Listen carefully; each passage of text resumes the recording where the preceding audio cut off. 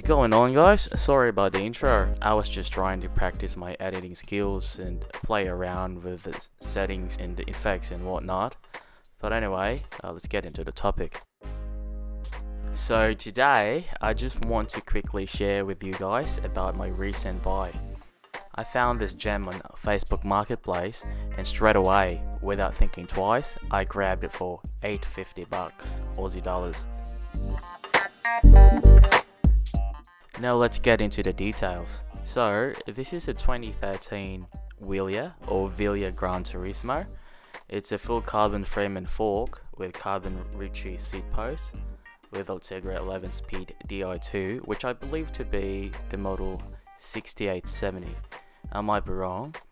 And it originally came with a set of 50mm Bontrager Aura 5 TLR but I slapped my Mavic Cosmic wheels on it because just because I like them better.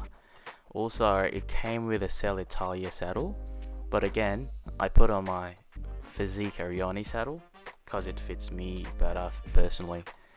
It's got a very lightweight FSA SLK light crankset with a 5339 rotor oval chainrings, 3T Team stem and Zipp alloy bars. And oh, it had a chain. I'm just in the process of putting in a new one, hence the lack of chain in here.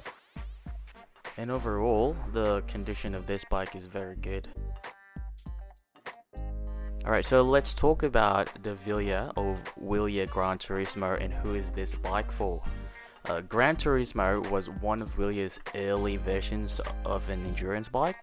It's stiff but comfortable enough geometry wise with its relatively high stack height and compliance wise as well. As you can see the semi dropped seat stays. And it's also lightweight. It's really good for long hauls tours and sportive cycling events. Aerodynamics though I can't really tell 100% especially for an 8 year old piece of technology but looking at the bladed fork and the trapezoid shaped down tube and the top tube creases, to me it's very indicative that somehow this frame had been in a wind tunnel when it was being engineered.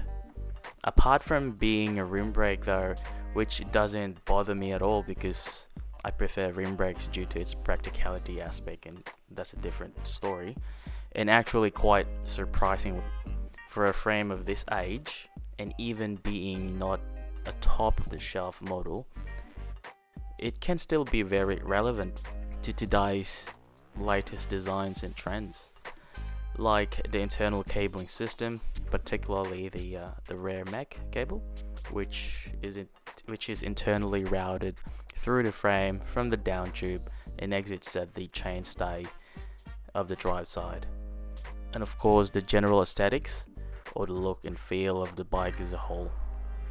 And I have to mention that the total weight of the bike as it originally came, and that includes the pedals, was 7.8 kilograms, and that's not too bad at all.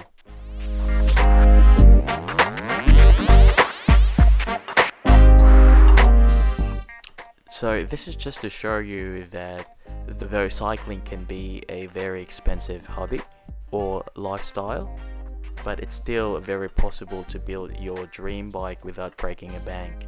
You just have to be a bit smart as to where to look for used but in good condition components at a fraction of the retail price. Peace out.